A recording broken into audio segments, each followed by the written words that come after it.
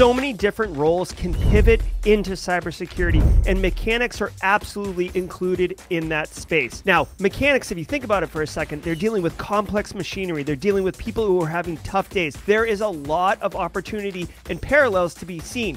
In this episode, we are going to be talking with Jared Burrows, who was a mechanic for 13 years, who has transitioned and cycled into cybersecurity as a practitioner. It's an amazing story. He's going to tell us why he made that decision to move into cyber, what challenges he faced along the journey in his progression to transition, what skills did he pick up as a mechanic that were directly applicable and immediately transferable into the cybersecurity industry, and what lessons learned you can take advantage of to follow that same path. Let's go get Jared.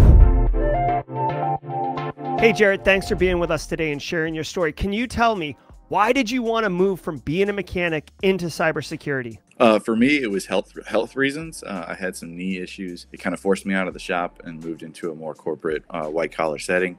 And I really worked uh, hard to bring some value to some customers, still using my automotive knowledge, but the uh, promotional status from there was pretty straightforward to a supervisor. It takes a special kind of person to be able to supervise and develop people, and I didn't feel I had that skill set. So I, I wanted to return to school, and I decided to study cybersecurity. Interesting. So it sounds like uh, just physical wear and tear on the body, uh, career growth potentials, essentially. Really. Mm-hmm. Yep.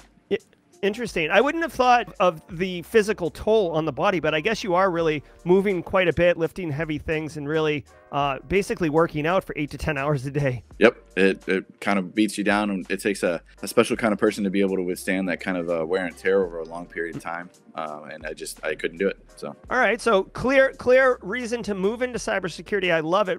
Uh, I'm curious, why choose cybersecurity over other fields to pivot into? Uh, there was a couple factors with that one. My family's always been into uh, tech. My father was a software quality engineer for a very long time for big company. Um, so we've always had our hand in, in, tech in some way, shape, or form. Cybersecurity is kind of that big growing field. Um, job security was a huge thing for me. Uh, I worked in a union shop prior to, so I wanted to make sure that I was always going to be able to have mm-hmm. a job. With everything being online now and, and everything being connected, I mean, there's no there's not going to be any kind of shortage of uh, cybersecurity professionals needed. So it felt like it was a safe move to go into, and plus it was interesting. I mean, there's so much to study. Oh yeah, absolutely. You'll never never get it all. You can't you can't catch them all.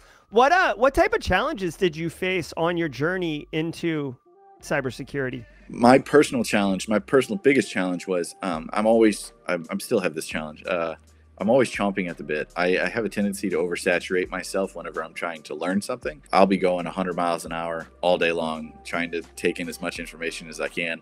And sometimes some of it doesn't stick. And that's the unfortunate part of it. So you have to learn to pump the brakes every now and again, be able to actually retain the information you're taking in. Yeah, really, really, really good point. Really focus, ingest. Did you face any challenges when you like were ready to actually start applying and getting the job? Uh, no, uh, I was fortunate enough to work within a company that everyone was super. Um, I tried to base myself around a lot of people who had experience in the field, whether they were working in the field currently or not. I tried to position myself next to those people just to try and gain and, and leech as much information and experience from them as I could. So I was fortunate enough to be able to manipulate my position within the company that I was in to, to gain some of that experience. So actually breaking in wasn't as difficult for me. Um, I had networked pretty well. Networking is huge. That that's mm-hmm. the key.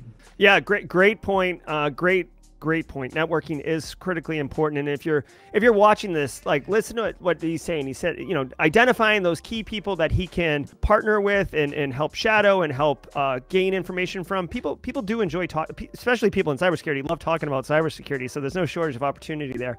So, Jared, as a mechanic, what type of skills did you have developed at those 13 years that you felt could transfer really easily and deliver value in a cybersecurity role? So one of the key problems that uh, you know you, you constantly see and you read online is is technical people speaking technicals talk to non-technical people and working as a mechanic for so long um, most people don't understand the inner workings of a car or the lingo or the terminology or anything along those lines so you have to learn to kind of speak on their level so that they understand and they can you know get the grasp of the situation of what's actually going on with their vehicle.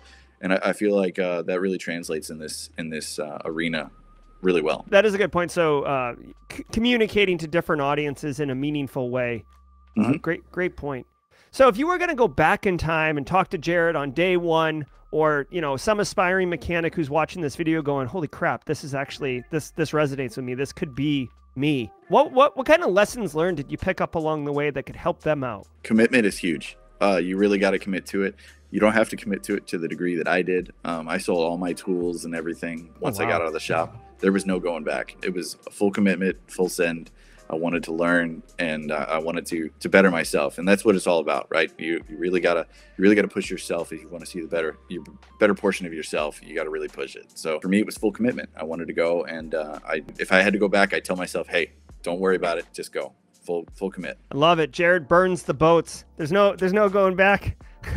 I love it. What? So, Jared, just another kind of uh, lesson learned. I'm curious about. You know, you had mentioned like getting inundated with so many different things to study and kind of uh, getting distracted and stuff. Any lessons learned from learning a new skill or learning a specific uh, capability within cybersecurity that you know you could apply?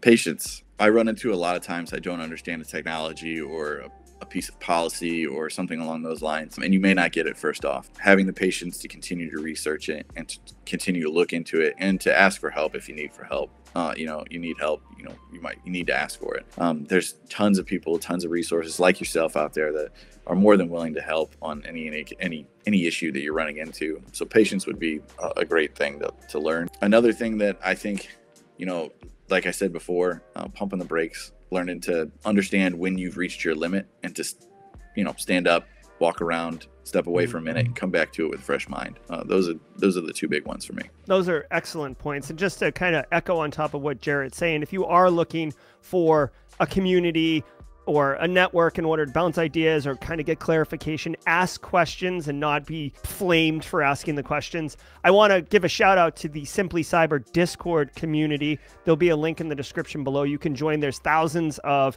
cybersecurity professionals and people looking to break into cybersecurity in that server. It's a very inclusive, very supportive community, and you can get some of the um, support like Jared is mentioning here in the video. So, Jared, thank you uh, so much. Really inspiring story. And if you're a mechanic and you're thinking like this could be you, um, definitely heed Jared's words. He's made the transition, he's done it, he works in cybersecurity. It's a great story. Thanks so much for your time, Jared. Hey, thanks for having me. I had a good time.